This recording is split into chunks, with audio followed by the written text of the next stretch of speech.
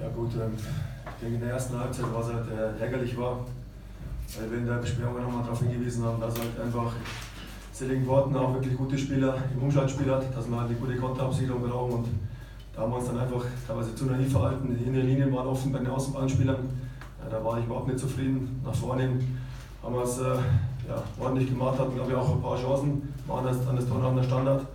Aber ganz klar, also wir haben dann zwei, drei Situationen Konter zugelassen, wo man einmal der Marco Hiller natürlich sehr gut hält und das andere Mal, der glaube ich, der Salzmann, glaube ich, über, übers, übers Tor schießt.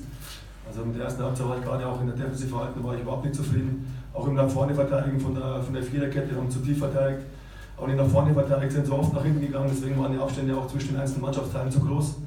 Also das sind dann äh, Sachen, an denen wir wieder schrauben können, wo wir dann auch wirklich auch detailliert nochmal arbeiten müssen. Und zweite Halbzeit war natürlich nach dem 2-0, haben wir was verändert im Anlaufen, haben auch ein bisschen mehr Zugriff dann, äh, dann gehabt, haben auch gesehen, dass Porten nicht mehr so viel Chance hatte in der, in der zweiten Halbzeit und wir auch immer wieder na, ja, gefährlich vors Tor kamen. Und das Zweite, was ich halt ein bisschen gemerkt habe, oder wo ich das Gefühl, Gefühl gehabt habe, dass leider doch, ich hätte es nicht gedacht, aber das Spiel gegen Buchbach noch ein bisschen in die Knochen gesteckt hat. Wir waren nicht so spritzig, nicht so aggressiv, auch nicht so laufstark.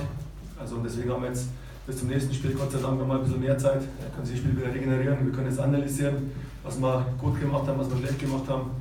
Aber wichtig sind natürlich erst einmal die drei Punkte, weil wir, können, wir haben heute vorgelegt, jetzt können wir morgen schauen, was die anderen machen. Dann kommt mit jetzt unter Föhring zu uns, haben wir wieder die Chance, drei Punkte zu holen. Und so können wir die, ja, die Gegner, die hinter uns sind, immer wieder unter Druck setzen, dass sie die Spiele gewinnen müssen. Und das wollen wir auch weitermachen. Danke. Dankeschön.